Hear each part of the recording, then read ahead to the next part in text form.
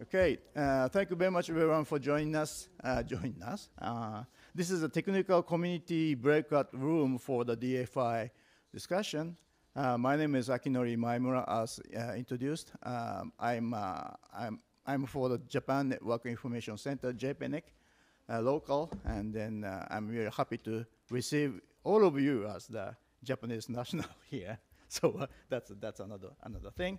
And then uh, I'm I'm the moderator here, and then uh, the the the lady next next to me is the introduce yourself. Hello, everyone. My name is Jenna Fung, uh, Asia Pacific Youth IGF Coordinator. Happy to be here uh, as rapporteur for this session today. Okay, thank you very much. Then uh, uh, we have the still uh, 875 minutes or something, then it's uh, quite, quite sufficient. And I, let me, uh, let me proceed one round of the self-introduction. Maybe it's be, it'll be good for, the, for making a team. Then uh, maybe I, I think there is a microphone. And then I'd like to start with uh, はい。あ、そうですね。Could you, could you pass it to the, please pass it to the, uh, Mr. Holland? and then uh, uh, please start the, the round of the self-introduction. Thanks. Byron? Yes, you can call me Byron. Uh, Byron Holland, President and CEO of CIRA. We're the CCTLD operator for .ca Canada. Hello, everyone. My name is Charles Noir, and I'm the Vice President of Policy Advocacy and Investment at CIRA Community Investment. Kia ora, everyone. My name is Jordan Carter. I'm the Internet Governance and Policy Director at AUDA, the Australian Domain Administration, the .au CCTLD Manager. Good morning, everyone. Uh, Annalise Williams, uh, Policy Advisor at the .au Domain Administration. Hi, good morning. Luisa Ribeiro Lopes. I'm CEO for .pt CCTLD for Portugal. Good morning, everyone. My name is Marta Diaz, and, and I'm also from .pt, the Portuguese registry, and I'm member of the board of directors. Good morning, everyone. My name is Washington. I'm the analyst from the China Internet Network Information Center, CNNIC. Uh, hi, good morning. I'm Masayuki Hatta. Uh, my day job is an academic, but I came here as a, um, uh, a developer of several encrypted messaging services. Good morning, everyone. My name is Monica Bala. I'm Senior Institutional Relations Advisor at Internet Society. Hi, everyone. My name is Einar Bohlin. I'm with the American Registry for Internet Numbers. Uh, Bastiaan Goslings from the RIPE NCC's uh, public policy team. RIPE NCC being the regional internet registry for Europe, Middle East, and parts of Central Asia. Uh, g'day everyone, I'm uh, Paul Wilson, I'm the head of APNIC, the Asia Pacific Regional Internet Address Registry, one of the five RIRs uh, that uh, are responsible for IP address management around the internet. Thanks. Good morning, I'm Lise Fuhr, Director General of ETNO, and ETNO is the European Telecom uh, Trade Association in Brussels.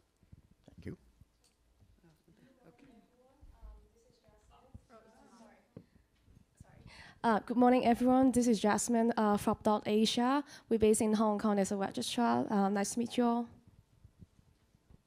Good morning, everybody. My name is Enrico Calandro, and I'm the project director of Cyber Resilience for Development. It's an EU-funded project dealing with uh, cyber capacity building primarily for national research. Good morning, everyone. I'm Tilna Disanayaka from Sri Lanka CERT and working as capacity uh, cybersecurity specialist in capacity building research policies and projects. Thank you. Good morning, Sandra Hoferichter from EuroDIG, which is the European IGF, but also chair of the board of Eurid, the registry for .eu. Good morning, Maarten Botterman. I'm an independent strategic advisor on internet governance matters and future internet, but I'm also on the ICANN board. And I'm also uh, in the GFCE uh, capacity building events for Triple I around the world, which is truly good because like the global, the, the national and the regional IGFs, it provides so much insight how diverse we are. And last but not least, I'm chairing the DCIOT. Uh, good morning, all. My name is Catherine Townsend. I run Measurement Lab, which provides the largest open data set about the performance of the internet around the world. Um, and I also advise the World Wide Web Foundation uh, policy and research started by Tim Berners-Lee. Good morning, everyone. I'm Jodie Anderson. I'm the Internet Governance Lead for Internet New Zealand. We are the um, .nz CCTLD. Kia ora tātou, I'm Vivien Maidaborn, also from uh, Internet New Zealand. Good morning, everybody. My name is Susan Chalmers, and I lead the Internet Governance team at the National Telecommunications and Information Administration at the Department of Commerce. Thank you. Good morning, everybody. I'm Len Hawes. I'm the Senior Technology Advisor for the uh, U.S. State Department's uh, Cyberspace and Digital Policy Bureau. Thank you very much. And then uh, some people are back uh, are here. Then they, if you don't mind, please join to the, the front uh, uh, front table. But uh, the mic mic is now uh, going around. And uh, please introduce yourself, please. Yes, my name is Julius Endert from Germany, from DW Academy, from the uh, German public broadcaster Deutsche Welle. Thank you. Good morning, my name is Marco Wagwani. I work for the Dutch Ministry of Economic Affairs, and I used to be technical community. Good morning. My name is Bertrand Boyer. I'm from the World Bank, uh, Washington, D.C.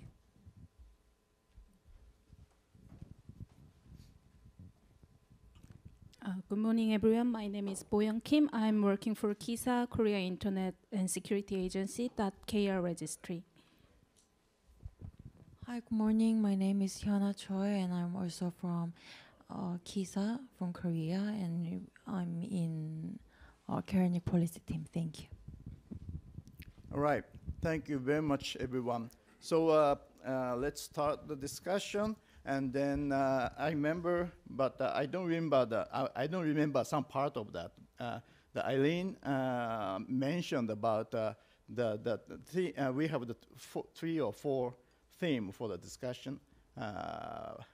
As I understand, I, I am the one is the priority, second process, and the measurement of the success, and uh, who who uh, uh, who remembers the that re- re- remains. What's, what, what is that? Hmm? Cooperation modality. Okay, we have the we have the four uh, four four themes uh, to to have have discussed, and then maybe it would be good to have the you know divide the hour right now. I, I think we have the still 70 minutes uh, into four, so that means the uh, 15 minutes, 15 minutes each, and some uh, the extra time. So uh, uh, that's uh, in that way. I, I'd like to uh, suggest you to start with the, the substantial priority of the DFI.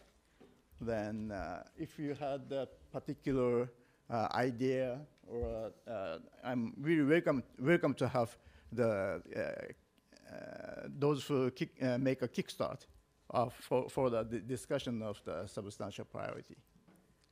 Anyone?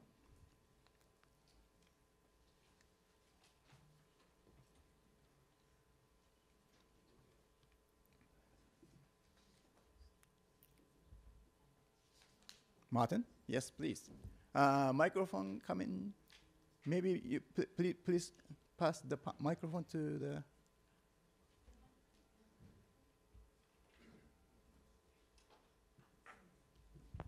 This one? Yeah, thank you very much, Martin. For uh, please state your name and then. uh, Yes, Martin Botterman. Uh, just thinking from a personal perspective, but if we're here together as technical community, I think we can celebrate that we've been able to keep the internet up and running uh, for the last uh, 50 years.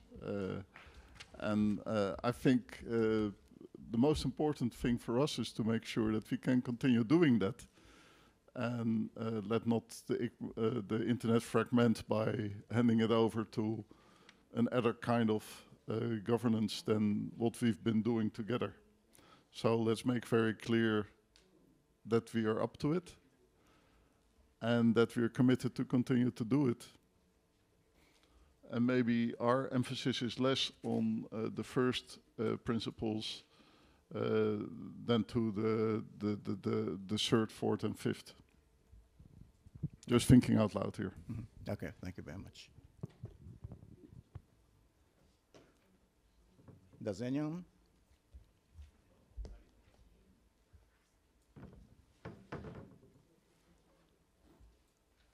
Well, we are just starting it, so uh, if you had any uh, idea for the, the better, uh, better, better way to the, the this uh, to proceed this discussion, that's that's also welcome. But uh, uh, may, maybe that this part is to to discuss the substantial priority. Out of the DFI, we have the some some ele- element for the for this declaration. Then, yeah, please, Hatta- Hatta-san, please uh, pass the microphone to Hatta-san. Where? I, I think we have the two microphones out here. Yeah.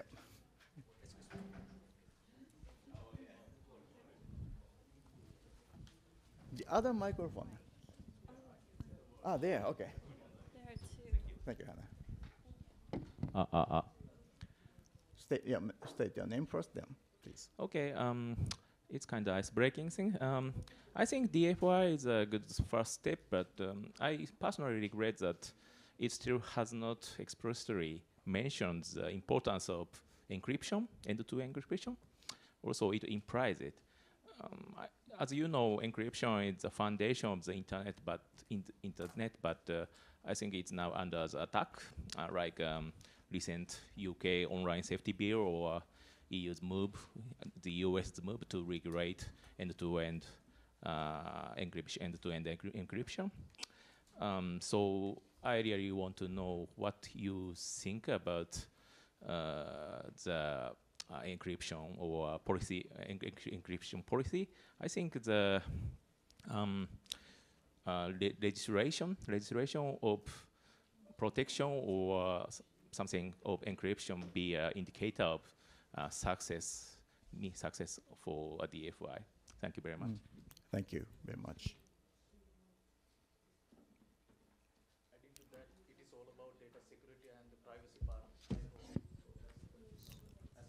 Again, again, please, with the microphone.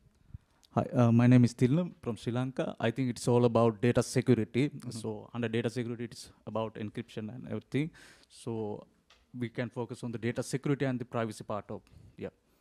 Okay. You mentioned uh, about uh, that im- importance then, yes. Any other points? Okay, uh, le- pass the microphone to that. Thank you. Uh, so I would just offer, building on your point, I do think that the people in this room are probably focused on three, four, and five, but I think it's important that we hold all of the stated values um, in the work that we do, because a free flow of information is the intention of the internet and the web, um, as our human rights. And if we only focus on the connectivity or sort of the nuts, of, nuts and bolts of building the internet and not on how it is used and by whom and how it's observed and tracked, then uh, we may lose the overarching goal. So I, I think we can prioritize our intervention, but I think all of these are, are, are what we need to um, uh, have forefront in mind uh, in the work that we do. Mm. Thank you. you had your hand Then, uh, Hatta-san, please, pass the microphone to this. Thank you. Yes, up. Okay. Um, being also uh, a representative from the leadership panel, uh, I think this is a very important document. So my, my comment is more on the overall uh, document as such. We have this declaration for the future of the internet. We also have the Paris uh, Declaration uh, for security.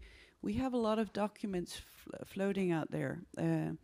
To me, it's important we we get a common understanding of the internet we want. That's also why the uh, leadership panel is trying to create a framework, hopefully that can embrace also this. Um, and uh, uh, the dream is to have sustainable goals also for the internet. So we measure and we ensure that there is a progression, and also that these uh, goals that we put in, also in this declaration for the future of the internet, is being held accountable to all the stakeholders. So I think uh, uh, this is a very good document, but I also hope we can merge it into one common understanding of what it is we we want the internet to be, but also what we want digital to be, because internet is much more than just the internet it was 20 years ago. We need to see it with AI. We needed to see it with cybersecurity we need to see it with uh, all the SDGs in general. Thank you. Thank you. Internet we want. That's a, s- that's a slogan of the, this IGF. Paul. Uh, Paul Wilson again. Um, I'm very glad to be here as part of the uh, technical community.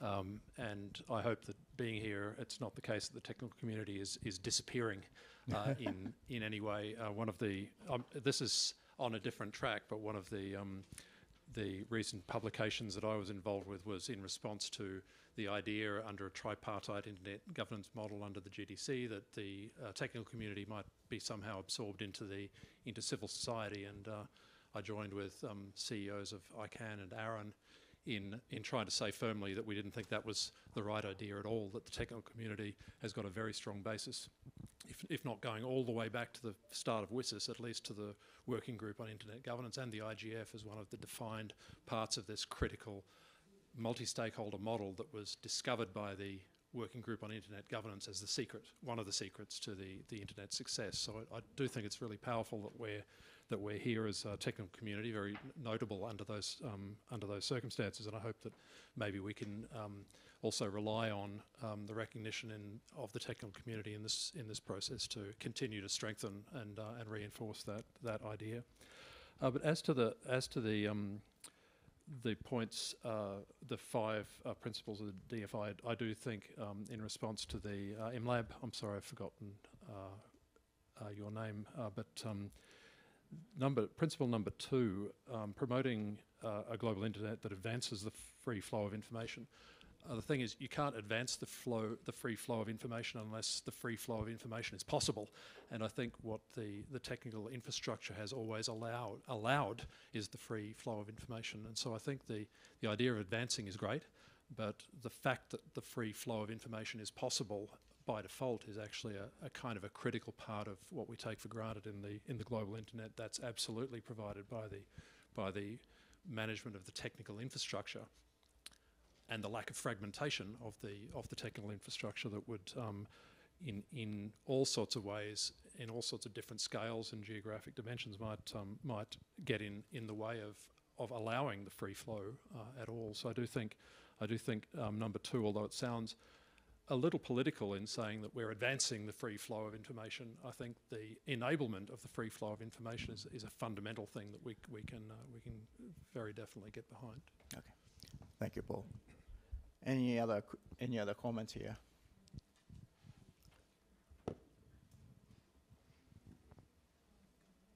For the okay, please.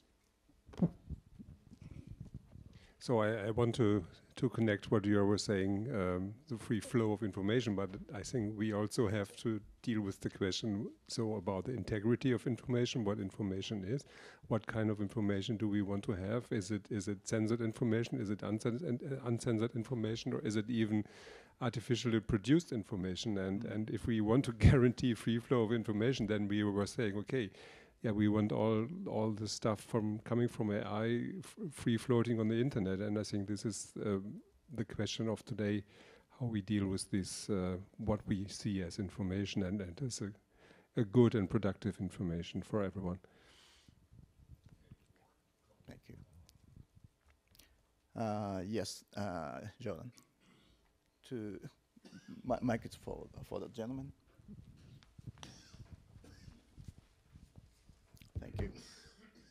Um, thank you. Just a couple of observations to add into the discussion. Um, I think uh, when I read this declaration as a CCTLD operator, it wasn't clear that there were any changes that were being asked of us in what we do. Um, so I think it's just that's actually an observation I've borrowed from my colleague next door, but but it, it is an important one to just note because it can lead us into the trap of sounding conservative from this community about saying that everything is fine. So I want to loop back to the first comment to say that we do need to be engaged with these higher level issues around development, around human rights, around the positive potential of the internet as a technology stack. And that comes partly to Lisa's comment about the um, connecting things to some SDG like goals, so that we can show that there is a positive impact from this kind of internet and that our niche as a technical community and operating it consistently and stably is just by itself a contribution to the global public interest. Um, the only other comment I'll make is that the declaration itself does represent, in the nicest possible way, a form of governance fragmentation. We have this multiplicity of different tools and statements that come. Um, and I think that's natural in the kind of choppy geopolitical waters that we are in but I think that we uh, should lend our voice in an organized, structured way as a technical community to advocate for a more harmonized and consistent global framework uh, to make life easier for us and all of the other stakeholder groups so that we don't have to engage with 20 different declarations or 20 different processes. And ideally, gluing it around this very IGF framework that we're all here to be part of today. So just a few things to add into the mix. Thank you. Next, By Byron, to Byron, please. Sure, thanks. And I would definitely uh, support Jordan's comments. One of the when I when I read uh, the declaration and I read these five principles, of course, intuitively they make sense. I can support them. Mm-hmm. As a technical operator, and if I I often revert back to one of my favorite images, which is the seven-layer stack of, of technologies, and where we as a DNS operator in particular, as a CCTLD operator, what do we really do? We run a registry, we run the DNS. Different CCs have different flavors of what they do. But as a DNS operator, operator ourselves, trying to maintain an independent, fair, trusted, unbiased technology layer that we provide to all others is the foundation upon which they build their presence on the internet, however it is, whatever it is. To me, that is the critical job that as a DNS operator, CCTLD, that we're engaged in. And while, of course, I want to advance and promote and protect and do other things, I'm often concerned that as a technical operator, when we drift into public policy oriented activities, it puts us at risk as a, as a trusted independent uh, technical operator. Of course, I and many of the people in my shop have very strong thoughts and ideas on how the internet should be operated, but it's a fine balance between being that fair and trusted technical operator and taking particularly strong advocacy positions. And I'm not saying we don't. In fact, we actually do in a domestic way. But I think it's worth noting the challenge and the fine balance that as technical operators we kind of we kind of ride on because it's easy to tip over and then start to become more biased on a particular policy issue and in our own domestic environment that may put our independence as a technical operator at risk or make it suspect. So I, I, just, you know, I'd like to get other technical operators' thoughts on that. How far do you stray into non-technical issues?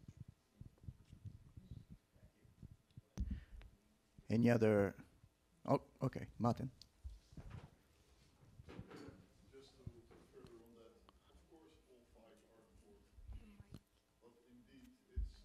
Mic, mic is on, Martin? Please check.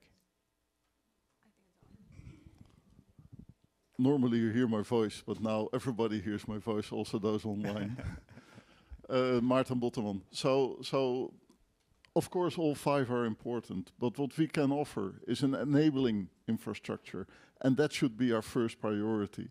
Then that we can also, from our good heart and as good citizens of this world, promote the other ones, that's fine. But if we don't offer this enabling infrastructure, and we we are at that task, I think, I believe, then it becomes more difficult. So, uh, how the infrastructure is used, for the good or for the bad, is not always in our hands. But we can make sure that the infrastructure ensures integrity of where you go, of the messaging, and things like that.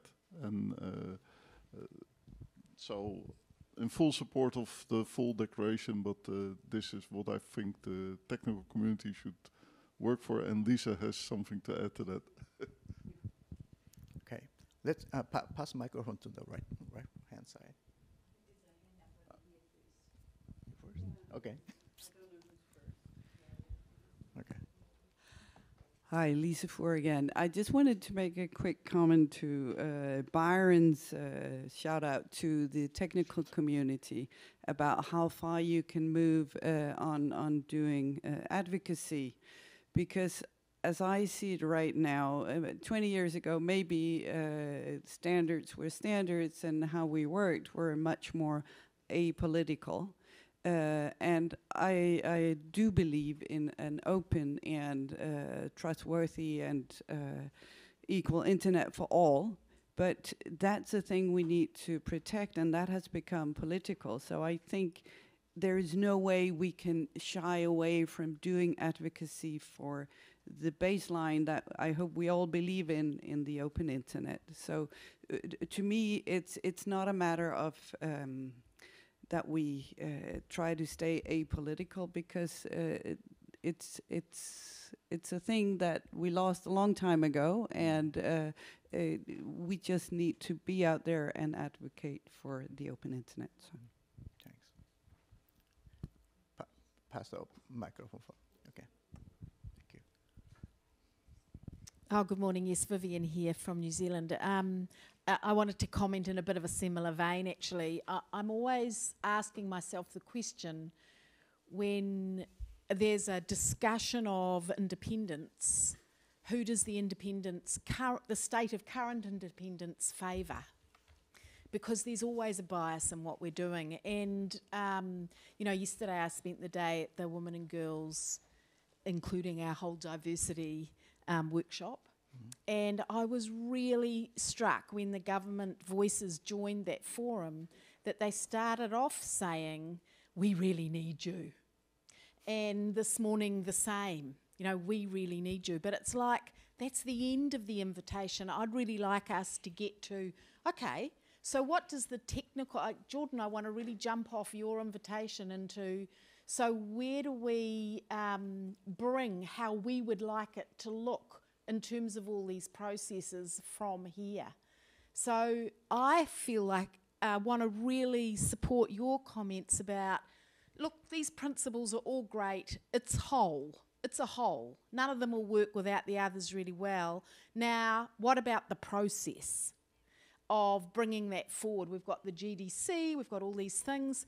So, as a technical community, um, Paul, you've mentioned uh, don't forget the importance of the technical community. So I'd love us to talk about how do we want to operate and work and pull together the thinking that goes into whichever of these. I'm still learning about all these sets of documents, um, and I don't yet understand how they all relate. But it does feel like the technical community is a constant across all of them, and we need to organise to bring our thinking forward. Thank okay. you. Thank you.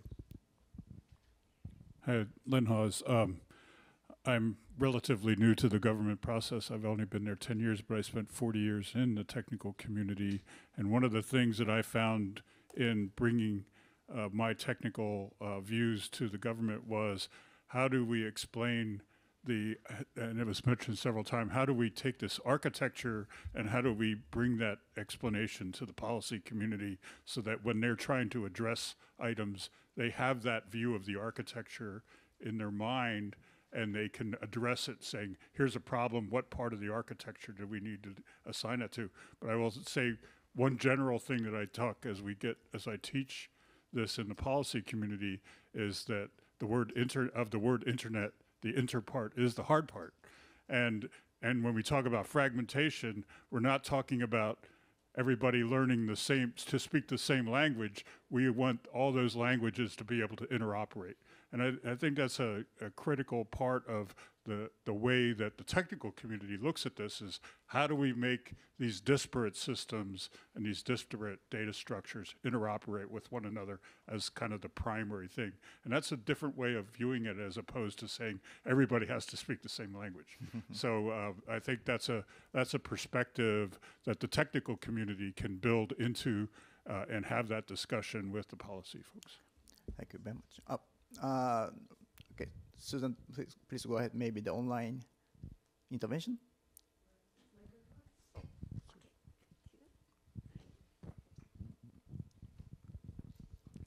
Thank you. Uh, just a housekeeping note. We thought it'd be helpful to put the, the questions on the screen here. Um, it'll be a bit easier for folks uh, to see and have also listed the, the DFI principles down here um, if we need to refer back to them. So I'm in your hands, Akinori. um, I don't seem to see any uh, questions uh, in the chat at this Okay. point. Okay, thank you very much. Uh, the next speaker is next to me. Okay. Thank you very much, Wolfgang Kleinwächter. I want to comment on Byron and, and Lise about, you know, what is the fine balance, as Byron has said, between uh, to be apolitical and technical or political and how far you can go. We had this discussion 20 years ago in the WGIG, Paul mentioned it, and we came out with the formulation in the definition of internet governance where we differentiated between the evolution and the use of the internet. So the evolution is certainly related to the technical layer where we use all the same protocols, and the use of the internet is to the internet related public policy issues. There's an interlinkage, but these are two separate shoes, and we have to be aware both on the interlinkages and the differentiation. Um, the problem is in the early days, uh, this one world, one internet philosophy uh, relates mainly to the technical layer, and the dream was 25 years ago, this will, you know, go up to the application layer. But the reality is, and we have faced this reality, that we have 193 different national jurisdictions uh, on the application layer. And the risk, what I see now, is that you know there are some governments who want to translate this 193 jurisdictions model to the technical layer. I think this is a challenge, and insofar uh, we have to be very careful in uh, saying, you know, what is part of the um, quote unquote national sovereignty of a country where we can uh, advocate or support groups, but the strongest uh, instrument for technical community is if they speak with a united voice. I think 10 years ago, when after Snowden, there was this ISTAR meeting in Montevideo, which really you know, had a tremendous impact.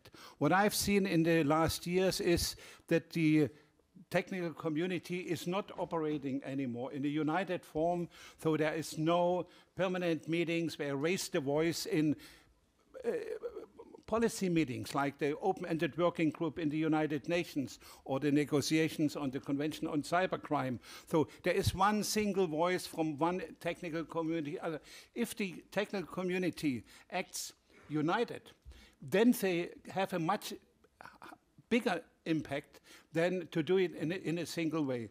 And as you have just said, you know, the, a, a lot of governments today understand quite well the technology, but they have a different plans. They have different intention. So it's not anymore we have to teach them and we, we, we have to inform them about how it is. So we have to be united as a technical community and to say, this is what we uh, uh, have to have to have to save, and this is probably uh, a good guideline to find the right balance. It's difficult to find the balance. We have to differentiate, but we cannot be as technical community be apolitical. That's impossible.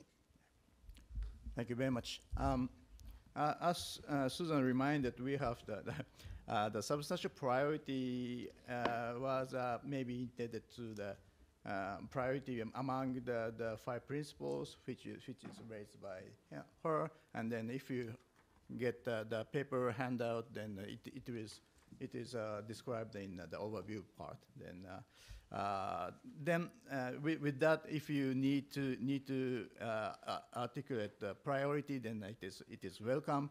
But uh, as, as, as I said in the, in the beginning, uh, the, we have the mm, three three other uh, aspect of the discussion, and then I, I'd like to encourage you to do uh, to ma- make the your intervention for the cooperation modality, please. Uh, so it's moving to the to the section, but uh, still welcome that if you say, say something for the, the first part of the priority. Then Jordan, the mic, please, mi- please bring the microphone to the far end. Thank you.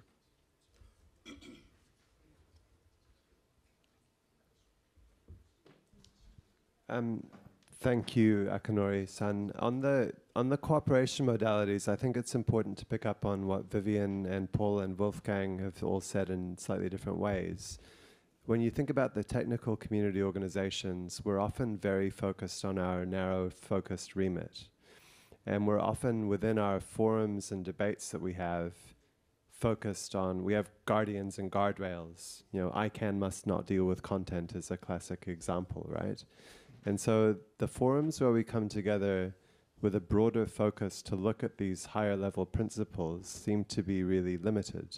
This is one of the main ones that happens, the IGF process. But even here, we often end up in rooms with each other uh, where we're not necessarily trying to hammer out a common position together.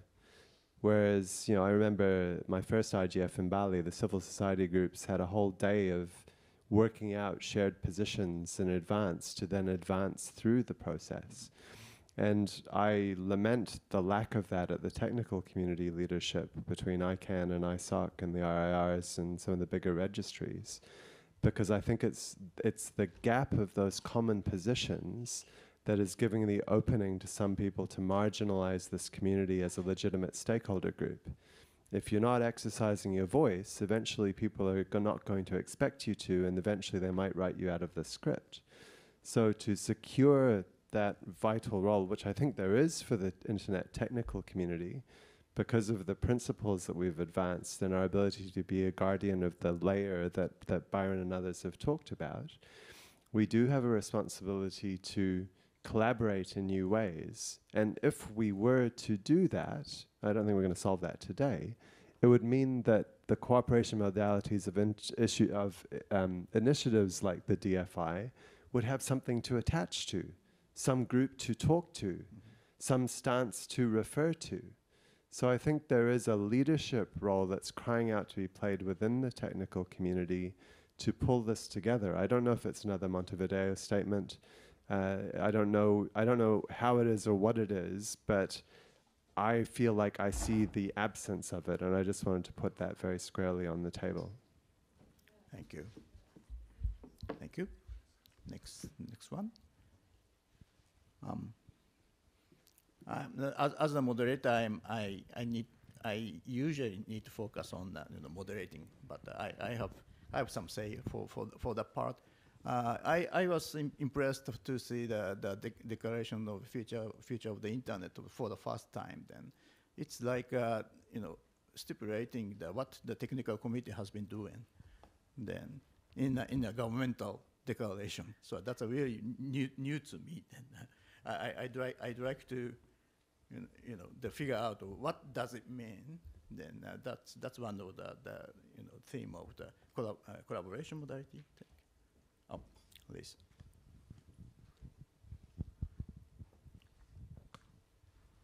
Um, uh, to Jordan's point, I, I completely agree that the technical community needs also to take some leadership in this. But what I also think is extremely important is whatever we do as a technical community also needs to be communicated widely because what what we do as a technical community has an incre- has a very uh, big importance for everyone around the world. The internet, uh, all the technical standards, whatever uh, uh, you are running is creating the foundation for uh, many, many things, businesses, people, uh, and and we saw the. I just uh, discussed the sanctions uh, that was raised on on Russia, where ICANN keep the internet running. That's extremely important. We cannot create the fragmented internet ourselves. So again, also to to Wolfgang's point, we cannot stay apolitical, but we need to keep the basis of an open internet up and running, and that that's the, for me the most sacred uh, uh, of of all of this. But if if the internet uh, uh or the technical communities are to take leadership, you also need to be better at communicating this leadership uh, all over the world. And I think IGF has been good, but uh, IGF is still a bit a closed club. This declaration for the future of the internet could be a good starting point. But again, my dream is more. We have uh, uh, SDGs for the internet. Everyone knows the SDGs, even small businesses all around the world. They use it and they use it for their businesses. If we can have the same for the internet, mm -hmm. that would uh, kind of implement what we do much better. Thank you. Thank you very much. Uh, Marco, please, please bring the microphone to Marco.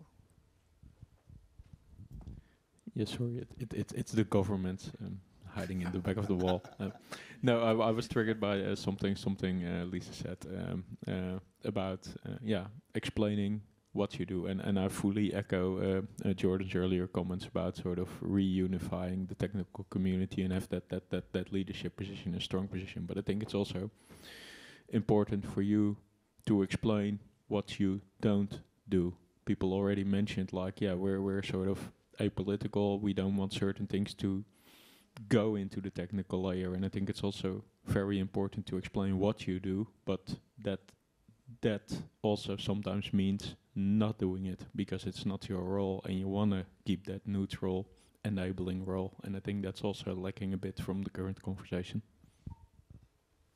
Thank you. Next.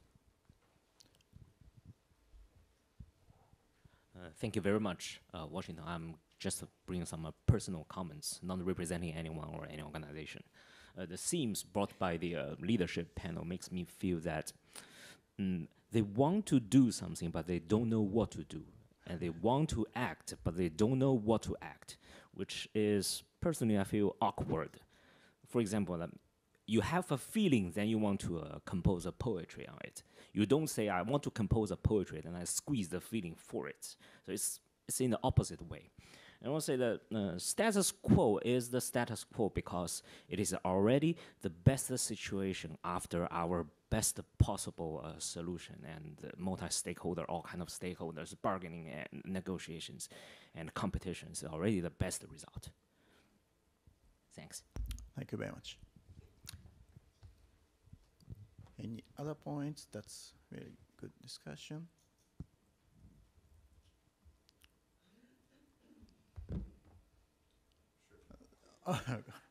Thank you. Thank you, Byron Holland. Um, I, from a, I guess first I just want to clarify. I didn't say we should be apolitical. My point was about how far do we stray from what our task is in layer three. Of course, we're going to have political decisions to be made and political perspectives on the operation of that space. It's really more about do we stray up to layer seven and have thoughts and comments on that? Maybe, maybe not. But as we do, we run greater and greater risk of compromising our both real and perceived expertise of running the foundation of the internet. And that's a risk that we take when we stray too far from our core remit. I think that it's also valid to say that over the last handful of years, perhaps COVID and years prior, that in the post-IANA world, we all, many of us went back to our respective organizations, home countries, and uh, focused on our core tasks. As a result, we don't have as unified a voice as maybe we had, let's say, through the IANA transition.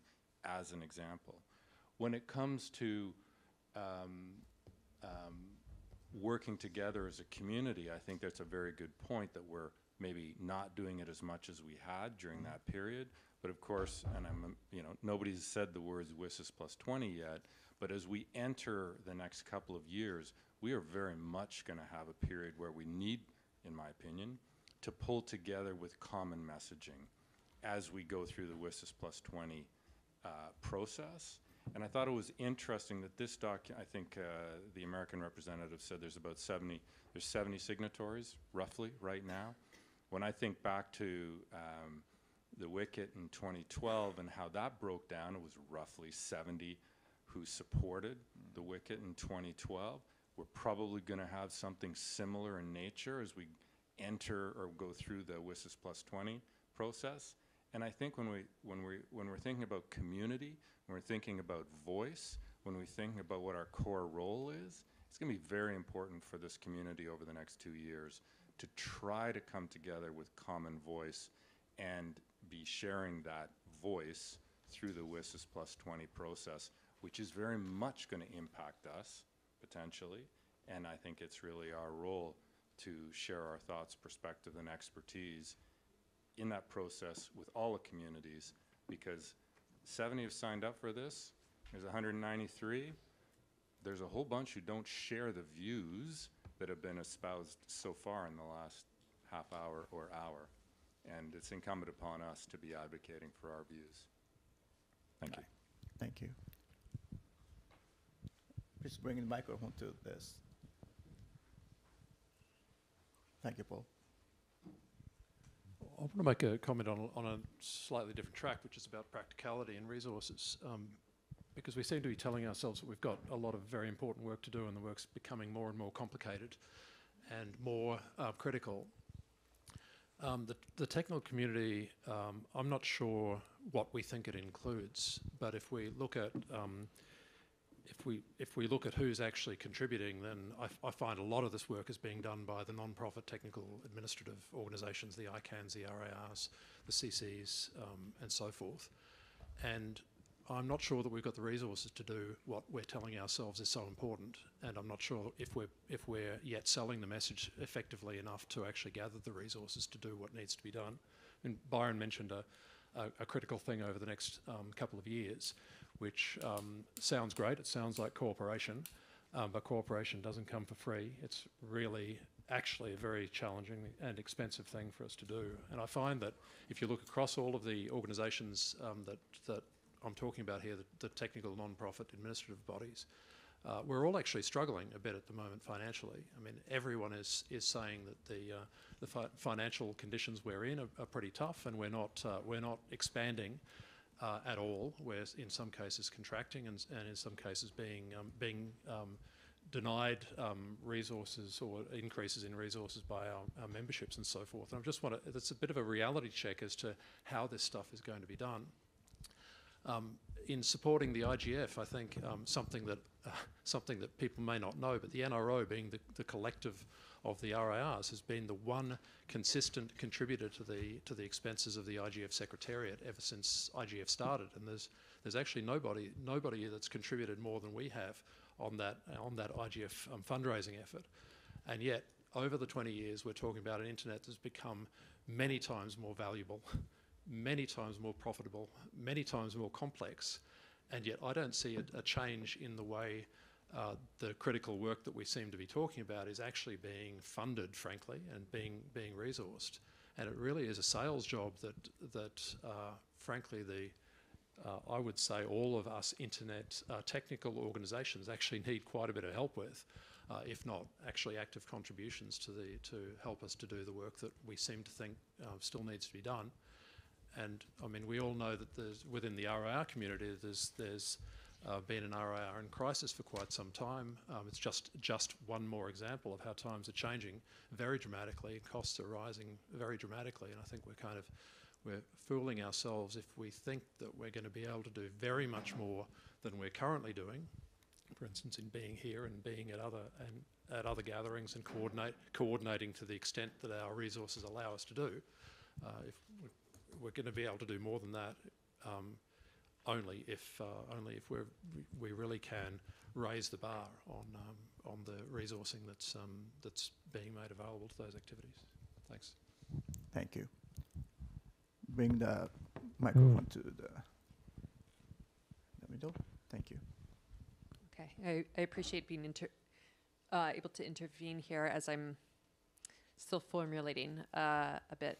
Um, the, the space that I would caution about prioritizing resources, because we need resources, and I hear what you're saying that you've already put a lot in, is that we're actively seeing now a lot of countries and a lot of governments that do not hold point one and two at their center um, are at the forefront of providing resources, and they're providing it in this venue that we're in, uh, you know, the conversations that are hosting this year and next year, um, and they're influencing a lot of the spaces where internet governance happens.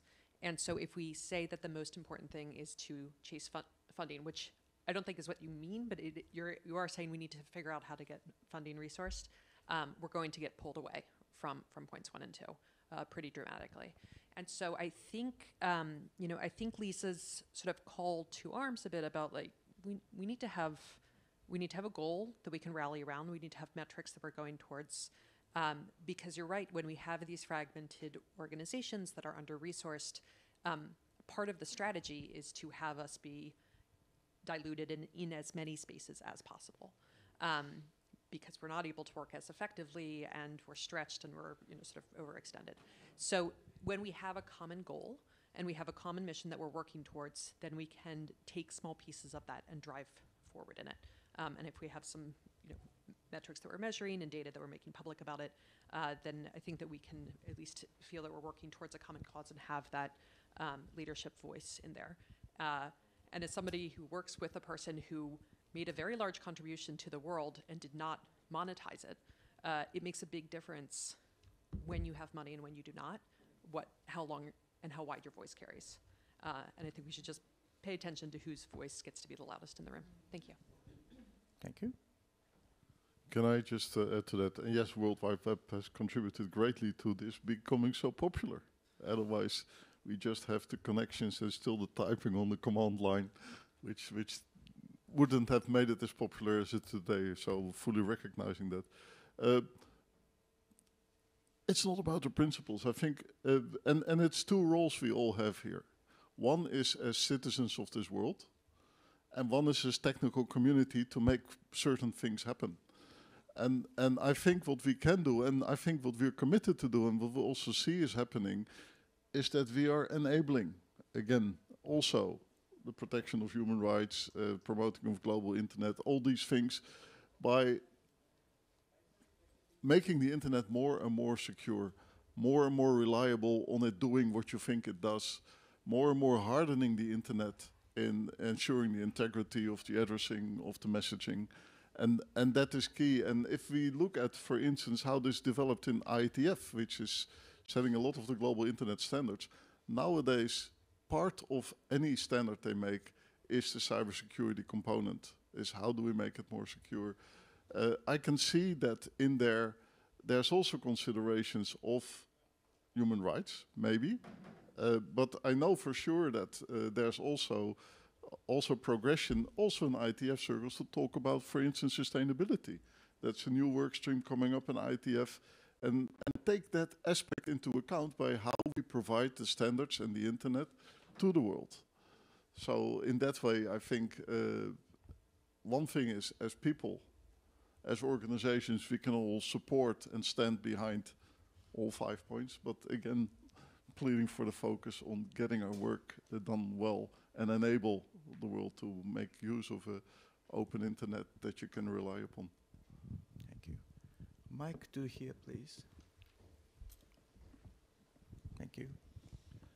Sorry to come back to that uh, comment from from before, but on resourcing, I didn't, I wasn't um, in intending for a moment to suggest that someone external, that parties external to our own organisations and communities should be funding us. I think many, many or most of us would rather starve than than be seen to be accepting resources at all for the risk of, uh, you know, just for the risk of, of those resources being potentially tied.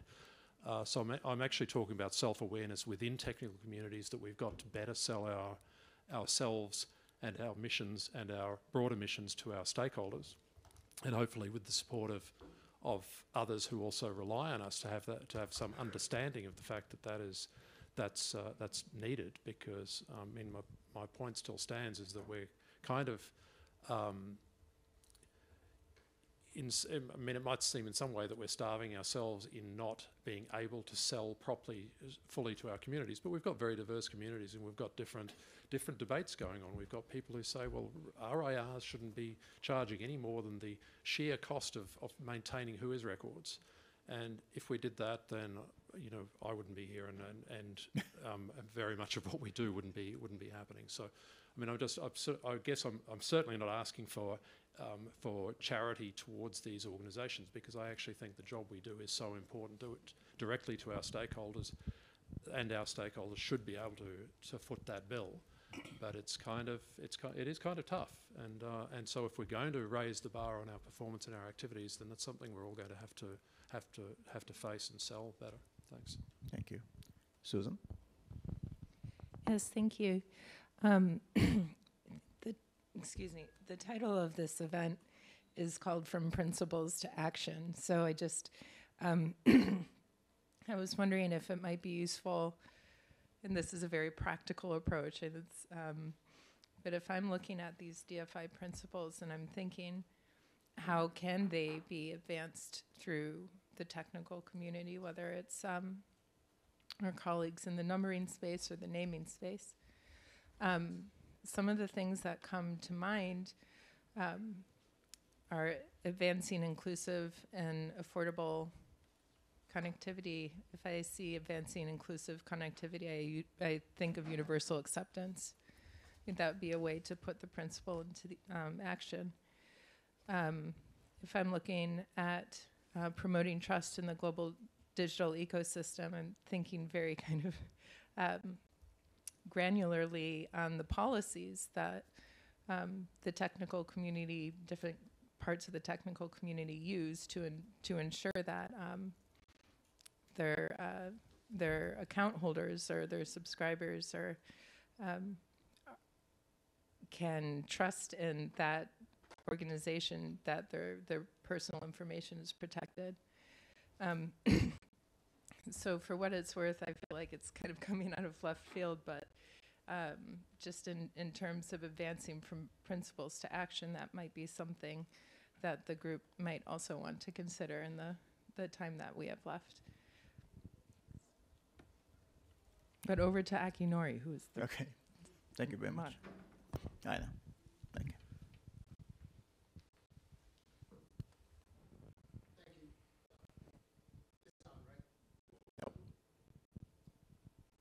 Is it on now? Sure. Thank you.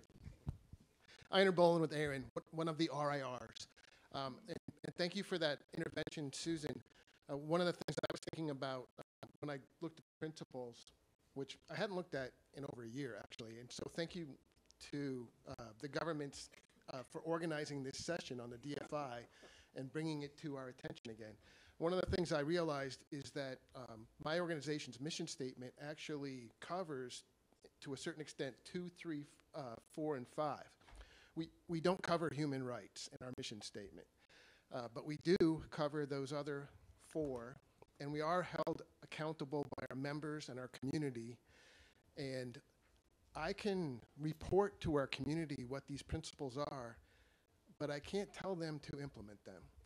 That might take um, an attendee or a participant in one of our meetings from a government to come and say that what these principles are and request that our members implement these. I'm just thinking out loud on some of these things. Thank you. Thank you. Please.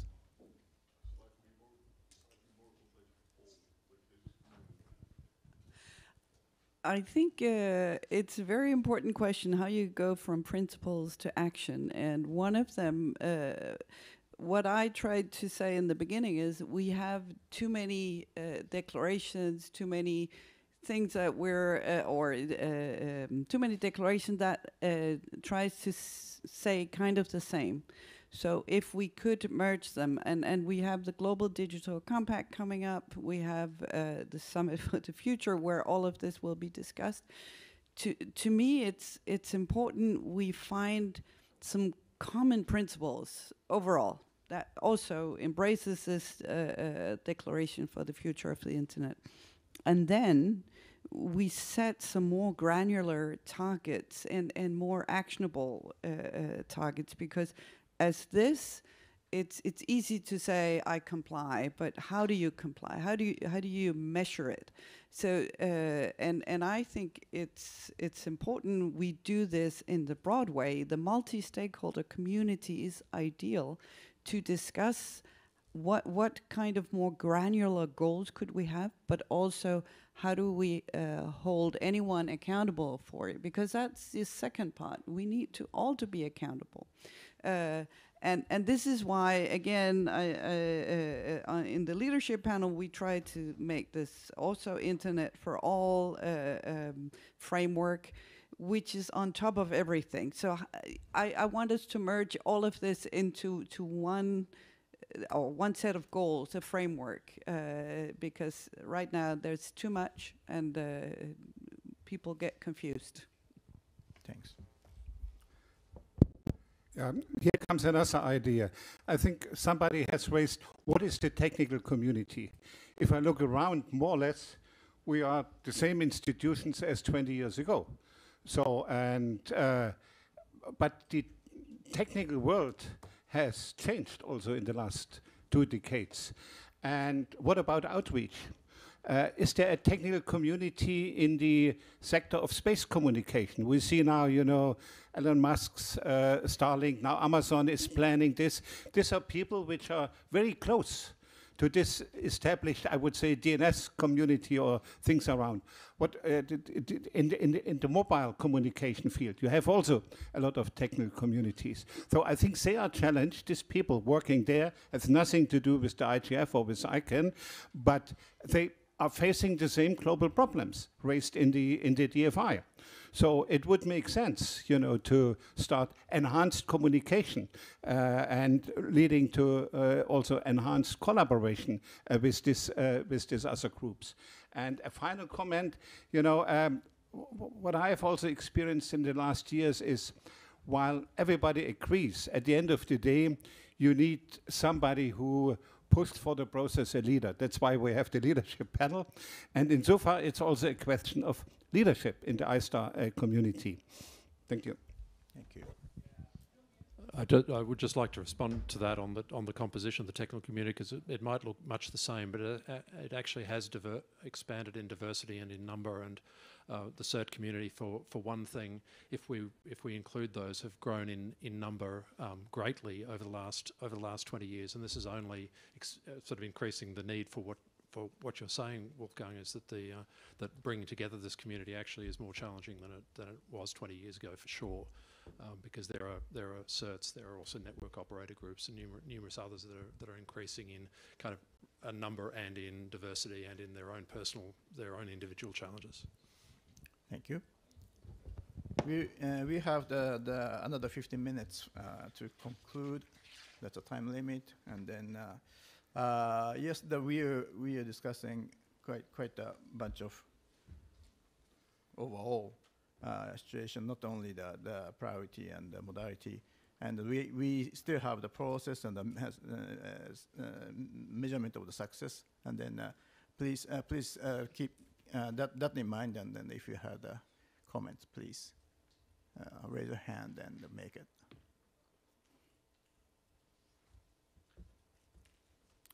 Jordan.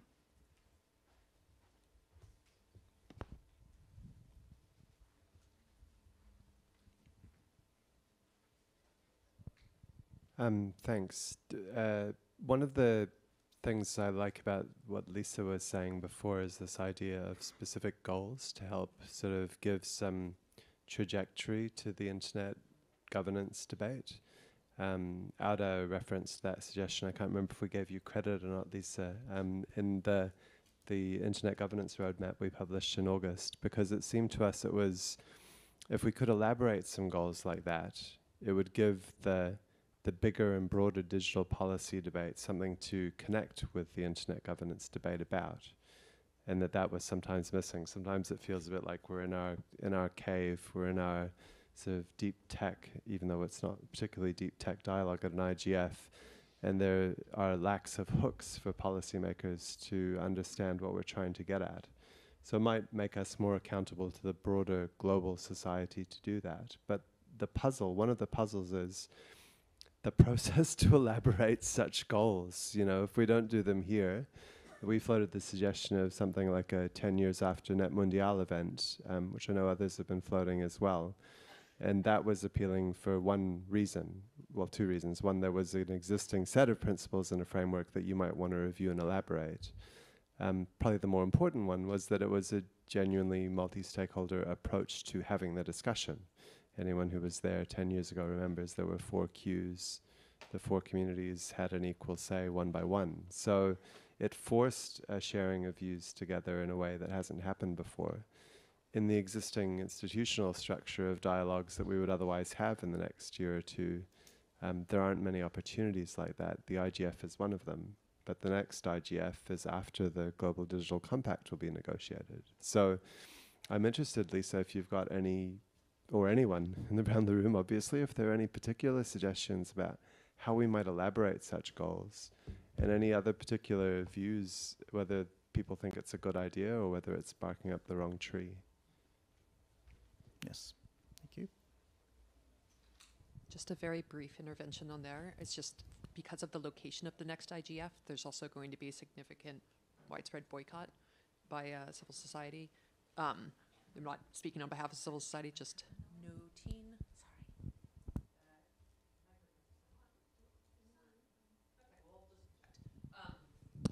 The point. Okay, we're trying. Okay, just the point of to say I wouldn't necessarily rely on this as being a space where we could have a significant co-equal multi-stakeholder process. Um, so yes, anything in the interim would be uh, welcomed and appreciated. Um, since I have the mic, uh, I am curious how uh, people have been breaking down each of these components into things that are specific and measurable. As an organization that works on measuring the speed and quality of the internet around the world, we try to use speed, which is a you know undefined term, as a proxy for people's personal experience. And so we're working with ISOC now on an internet quality barometer to try to expand a bit more from the technical community what it means to have quality internet service. The uh, civil society community has done this a lot with meaningful connectivity, um, but so we're trying to get the the technical perspective in there. Uh, and so I would be curious if there's other kinds of initiatives that do get to those specifics of metrics that can be measured.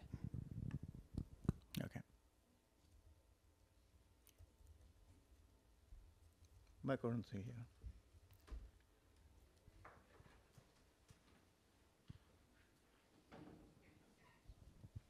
Yeah, thank you. It's, it's Anne. Uh, Bastiaan Goslings, uh, RIPE NCC. Um, in listening mode until now, thank you very much. Very interesting uh, discussion. A um, lot of stuff I agree with.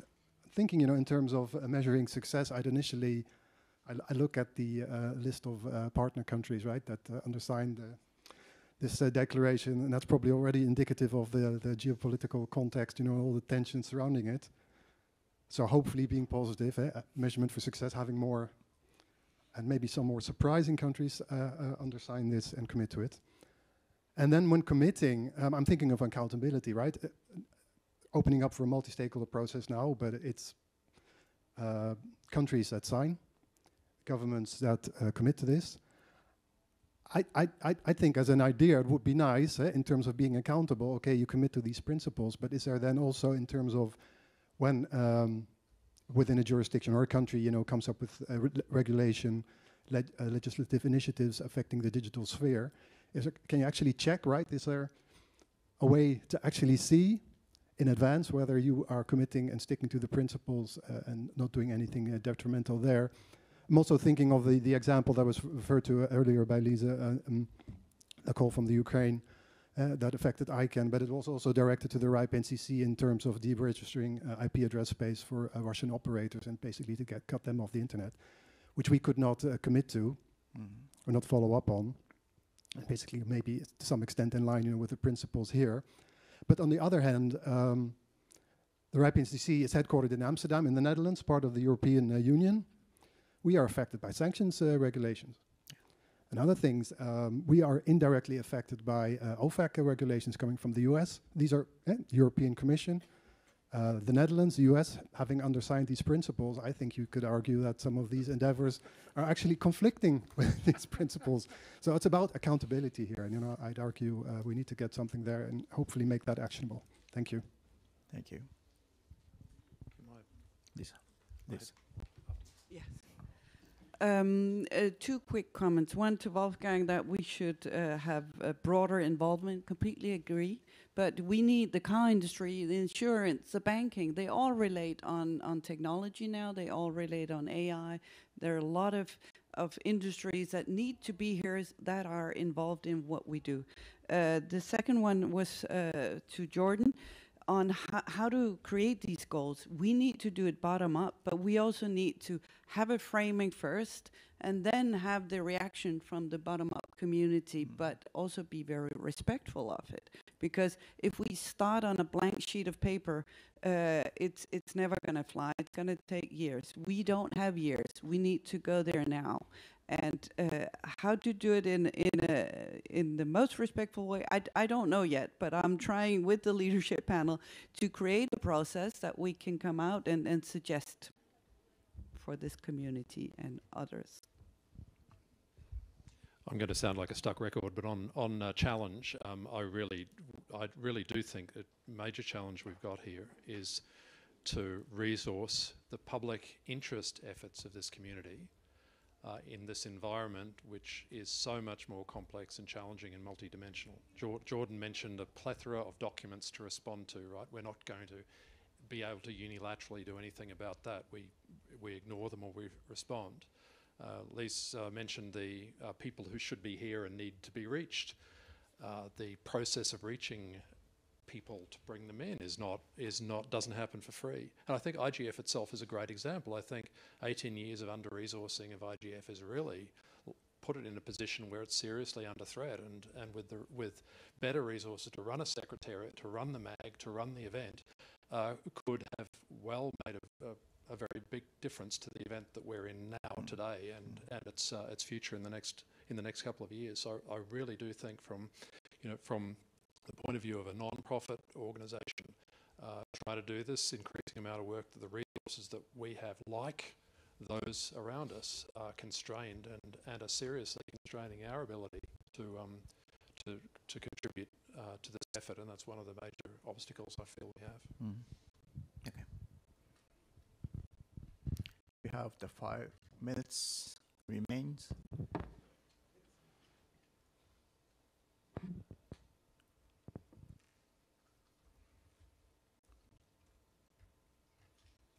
Maybe you can you can make the final remark for this discussion.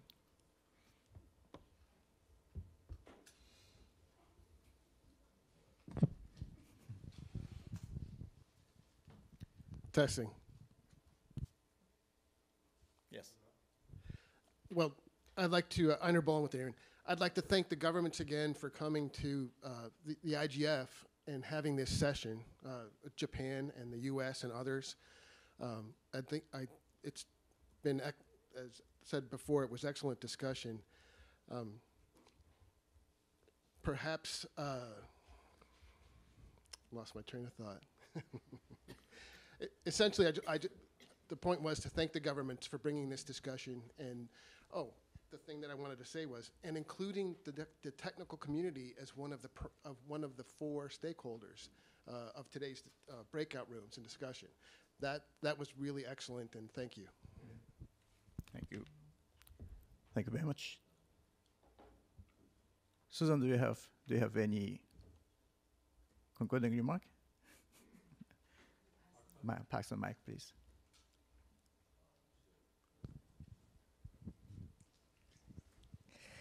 Um, just to also thank you, everybody, for coming together and spending this time uh, to discuss the principles.